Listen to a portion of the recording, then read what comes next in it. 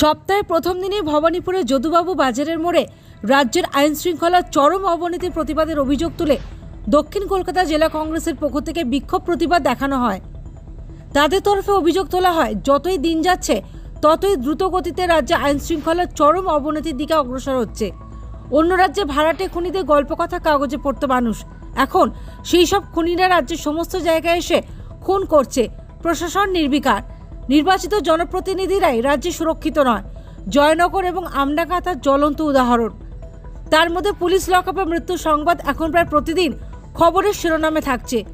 গল্ফগ্রিন নরেন্দ্রপুরের পর এবার আমার স্ট্রিট পুলিশের ফোনে ডাক পেয়ে থানায় গেল আর মৃতদেহ হয়ে বেরোলো। দক্ষিণ কলকাতা জেলা কংগ্রেসের পক্ষ থেকে আজকে আমরা ভবানীপুর মমতা বন্দ্যোপাধ্যায় বিধানসভা কেন্দ্রে আজকে আমরা বিক্ষোভ, প্রতিবাদ বিক্ষোভের আয়োজন করেছিলাম।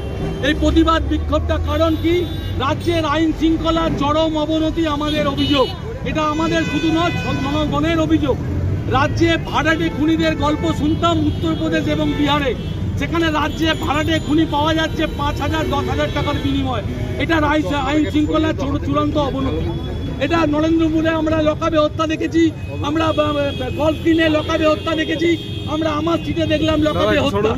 আজকে বোমা তৈরির কারখানা পাওয়া যাচ্ছে রাজ্যের বিভিন্ন জেলায় যে জেলায় আমরা লাস্ট পাওয়া গেছে দত্তপুকুরে এখনও পর্যন্ত এই তদন্তের রিপোর্ট প্রকাশ্যে এলো না। Bureau report United India news